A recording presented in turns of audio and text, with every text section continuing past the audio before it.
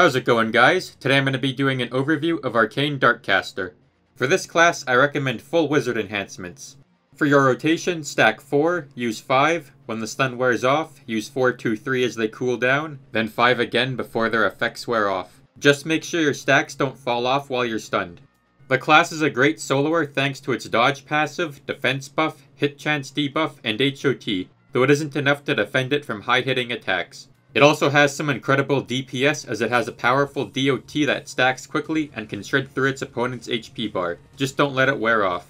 Farming isn't recommended because although it has solid range and sustain, it has a self-stun and relies on a DOT for damage, two things that are not very optimal for farming.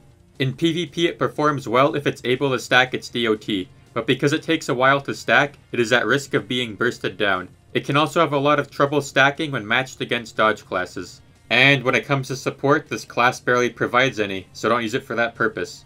Overall, Arcane Darkcaster is a powerful soloing class that can dish out a lot of damage in a fairly short amount of time. It might take a bit to get used to, but when you get the hang of it, it'll be quite rewarding. Anyways, that's all for this video. Thank you for watching, and have a nice day.